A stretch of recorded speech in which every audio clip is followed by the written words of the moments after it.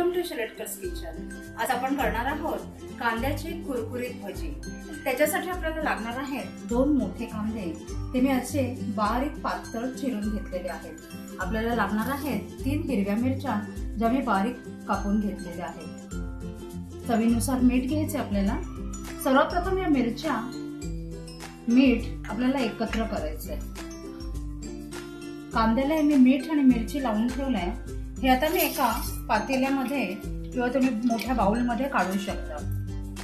आता त्याला दोन मिनिटासाठी आपल्याला ठेवायचं आहे त्याला आपोआप पाणी सुटेल.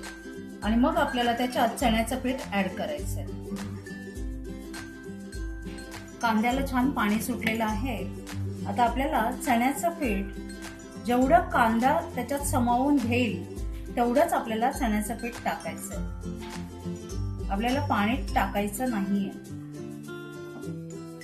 आणि हे असं अंदाजाने मिक्स करायचंय. कांद्याला पाणी सुटलंय आणि हे पीठ त्याच्यामध्ये छान मिक्स झालेलं आहे. आपल्याला एक थेंबही दुसरं पाणी आपण ऍडिशनल टाकलेलं नाही कांद्याला जे पाणी सुटलंय त्याच्यातच आपल्याला चण्याचं पीठ भिजवायचं आता आपण कढई गरम करूया. तेल आपलं तापलंय.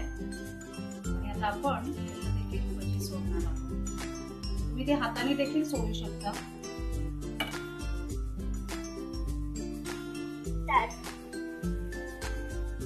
आपल्याला एक गोल्डन ब्राऊन होईपर्यंत तळून घ्यायचे तुम्ही ह्याच्यात धन्याची पावडर किंवा अख्खे धने बारीक करून टाकू शकता. कोथिंबीरही घालू शकता.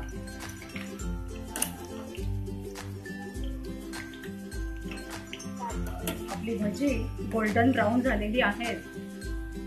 तर आपण त्याला काढून घेऊ.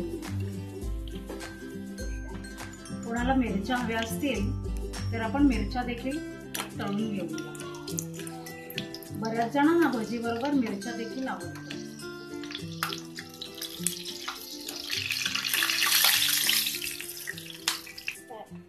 मिरच्या आपल्या तळून झाल्या आहेत.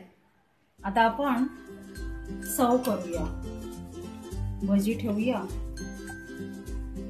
ही भजी जी आहे हे कितीही वेळ झाला तरी ती कुरकुरीतच राहतात. जरी थंड झाली असली पंख्याखाली जरी तुम्ही ठेवली तरी ही भजी अशीच कुरकुरीत राहणार आहे.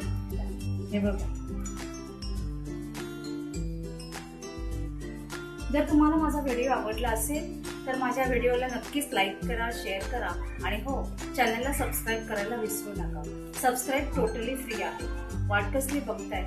सबस्क्राईब करायला घेताय ना? आपण लवकरच भेटूया. शिरटकर्स किचनच्या एका नव्या छान खुसखुशीत रेसिपी सोबत. तोपर्यंत नवीन नवीन रेसिपीज खात राहा करत राहा. मुख्य म्हणजे मजेत राहा.